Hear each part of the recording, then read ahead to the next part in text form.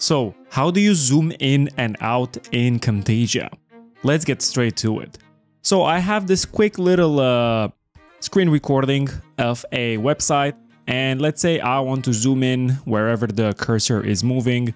In this case, it's showing the login bar here on top. And to zoom in, it's actually super simple. You have to go here on the left sidebar where it says animations.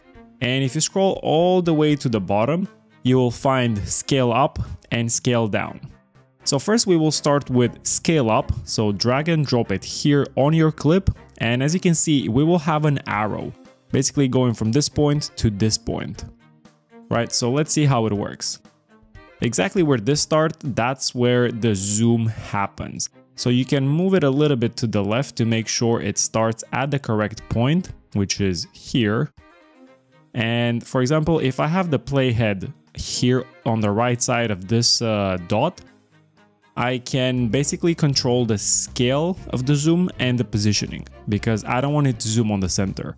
I want it to zoom, oops, let's just move it here in the corner. And I want to scale in a little bit more like this and actually move it even more. There we go, until it snaps into place.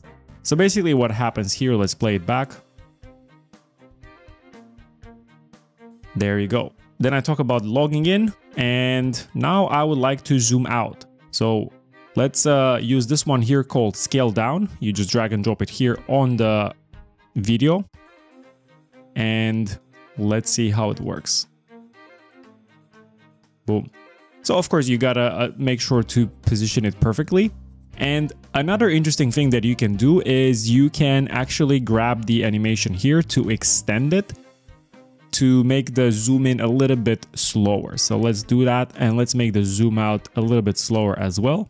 And let's preview that and see how it looks. So here I'm talking about logging in, showing you where that is, and then we zoom back out to see the full video. All right, so this is how you zoom in and out in Camtasia. For high quality stock animation assets, that you can use in Camtasia with drag and drop simplicity so that you can have professional animations at your fingertips within minutes, make sure to visit videoplasty.com.